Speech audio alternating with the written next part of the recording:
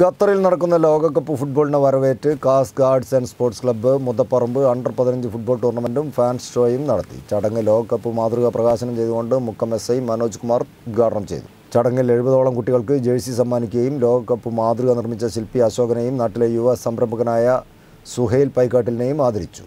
തുടർന്ന് നടന്ന ഫാൻസ് ഷോയിൽ നാട്ടിലെ പ്രമുഖർ സംബന്ധിച്ചു.